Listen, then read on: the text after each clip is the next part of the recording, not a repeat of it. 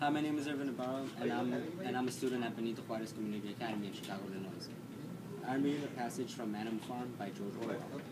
This book was challenged in Chicago, Illinois for taking satire a little too far and comparing what actually did happen to real people as animals.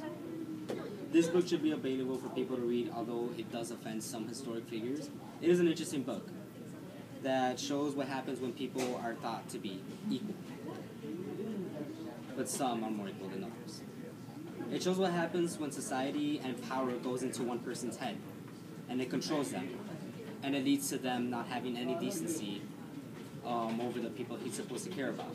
Napoleon and Snowball, some of the characters from Animal Farm, were the reasons why the people in Animal Farm were brainwashed and betrayed. A quote from Animal Farm is, Now, comrades, what is the nature of this life of ours? Let's face it, our lives are miserable, laborious, and short. But is, but is this simply of the order of nature? No, comrades, a thousand times no. Another quote by Animal Farm is, I will work harder, a quote that's used by Boxer in almost every chapter from Animal Farm. It is very controversial and offensive and seems to be serious over the fact that people were forced to work and didn't get paid and were brainwashed and betrayed.